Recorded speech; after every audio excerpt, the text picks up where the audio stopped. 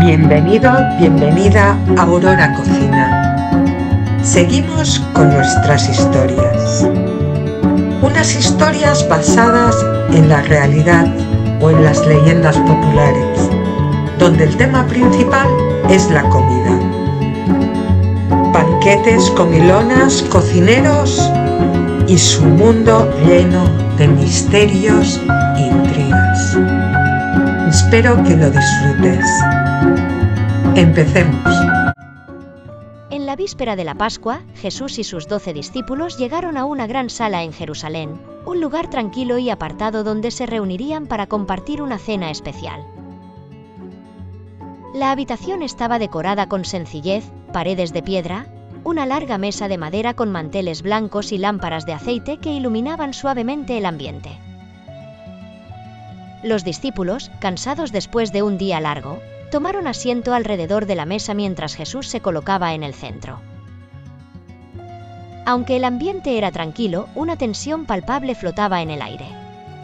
Algo grande estaba a punto de suceder. Cuando todos estuvieron sentados, Jesús, con calma y serenidad, comenzó a hablar. Sabía que esta sería su última cena con ellos antes de su sacrificio, y con una voz suave pero firme, les dijo que uno de ellos lo traicionaría esa misma noche. Las palabras de Jesús sacudieron a los discípulos. Cada uno de ellos comenzó a preguntarse quién sería el traidor.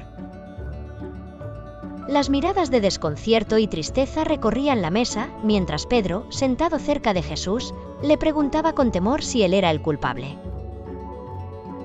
En medio de la tensión, Jesús tomó un pedazo de pan de la mesa, lo bendijo, lo partió y se lo entregó a sus discípulos diciendo, Este es mi cuerpo, que será entregado por ustedes. Coman de él en memoria mía. Luego, tomó una copa de vino, la levantó y les dijo, Esta es mi sangre, que será derramada por la salvación de muchos. Beban de ella en memoria mía. Los discípulos, conmovidos por el profundo significado de estas palabras, tomaron el pan y la copa, participando en lo que sería el primer acto de la Eucaristía. La sala, aunque tranquila, se llenó de un aire sagrado y solemne.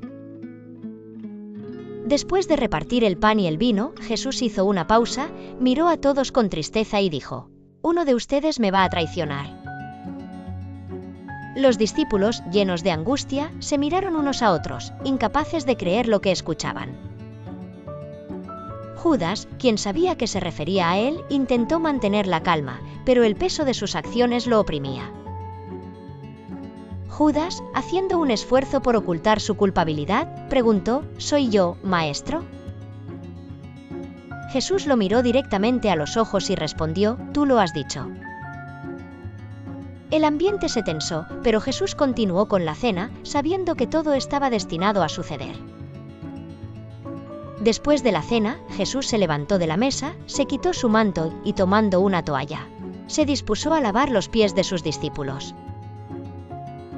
Este acto de humildad dejó a los discípulos atónitos, ya que no podían entender cómo su maestro, el Hijo de Dios se rebajaba a servirles de esa manera. Pedro, conmocionado, intentó detener a Jesús, diciendo que no permitiría que su maestro le lavara los pies. Pero Jesús, con voz suave, le respondió, Si no te lavo, no tendrás parte conmigo. Con esas palabras, Pedro permitió que Jesús continuara, reconociendo el significado de este acto de servicio. Cuando la cena terminó, Jesús y sus discípulos se levantaron y en silencio, salieron de la sala para dirigirse al Monte de los Olivos. Sabían que esa noche marcaría el inicio de algo trascendental, aunque ninguno, excepto Jesús, entendía completamente lo que estaba por venir. La última cena fue más que una comida, fue un momento sagrado que cambiaría para siempre la historia.